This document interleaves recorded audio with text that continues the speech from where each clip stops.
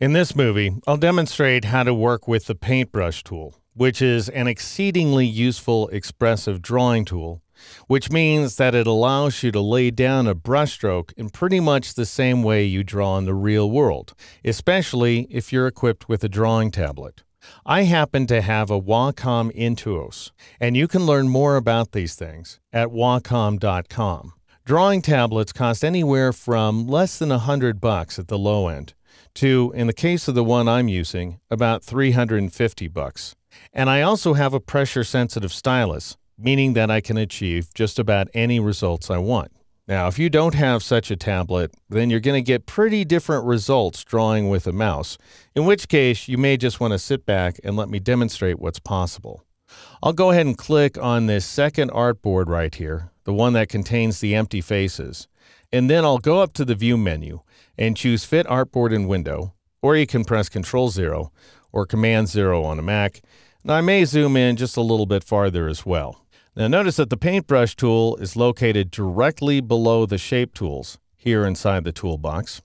You can select a brush up here in the control panel by clicking on the central pop-up menu, but that ends up blocking my view of my artwork. So instead, I'm going to get to the panel the way you can get to all panels inside of Illustrator from the window menu. So I'll click on window and then I'll choose brushes to bring up the brushes panel. Now you may have to drag the bottom of the panel to expand it so you can better see what you're doing. And then I'm going to click on the little page button in order to bring up the new brush dialog box. I'm going to create a calligraphic brush which can be either round or elliptical.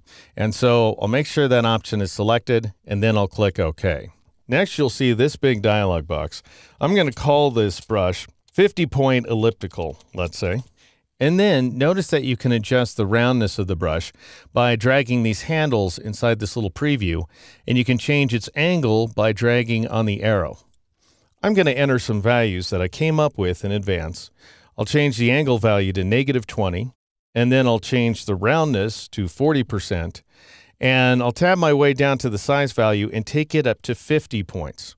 Now, I want the size to vary with the pressure that I apply to the stylus. So I'll switch from fixed to pressure, and then I want as much variation as possible. So I'll click this down pointing arrowhead and max it out. And the most variation you can have is the size value, which in my case is 50 points. Now I'll click OK in order to accept that change. All right, now armed with my tablet, I'll go ahead and draw a few lines inside of my artwork. And notice a couple things. First of all, when I release, Illustrator automatically smooths out my path outlines.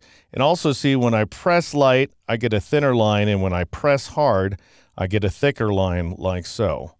So I'll just go ahead and draw a few other things, maybe an eye at this location here and another eye right about there.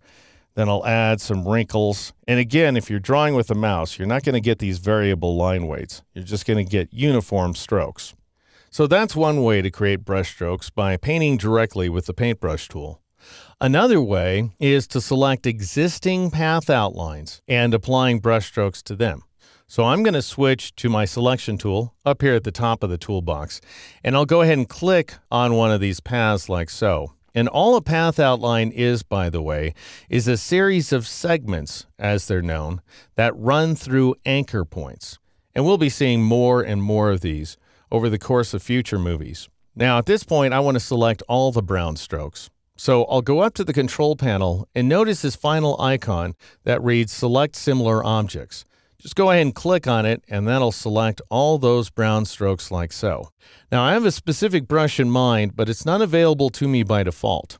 I have to load it up from the many brush libraries that ship along with Illustrator. And to do so, I'll click on this little library icon in the lower left corner of the brushes panel.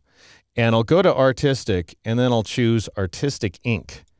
And that'll bring up this floating panel right here I'll go ahead and expand it by dragging down on the bottom of the panel. And notice this brush stroke midway down. It's called fountain pen. I'll go ahead and click on it to apply it. And I end up getting these rough brush strokes here. And this, by the way, you can do along with me, whether you've got a pressure sensitive stylus or not. Also notice that that automatically adds fountain pen to my brushes panel. Now I'll go ahead and close this floating panel by clicking at the X in the title bar at the top of the panel there.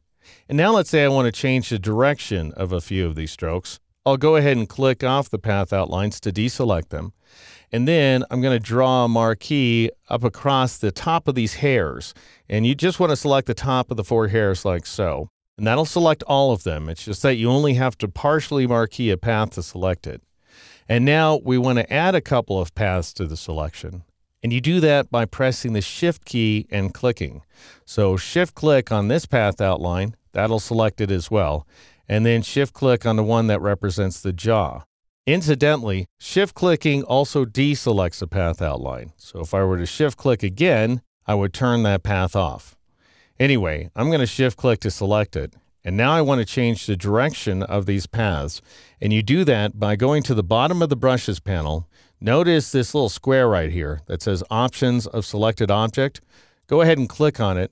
And that brings up a dialog box that allows you to switch a few things. I'm going to turn on the preview checkbox so I can see what I'm doing. And then I'll turn on flip along and that'll change the direction of these brushstrokes as you see here.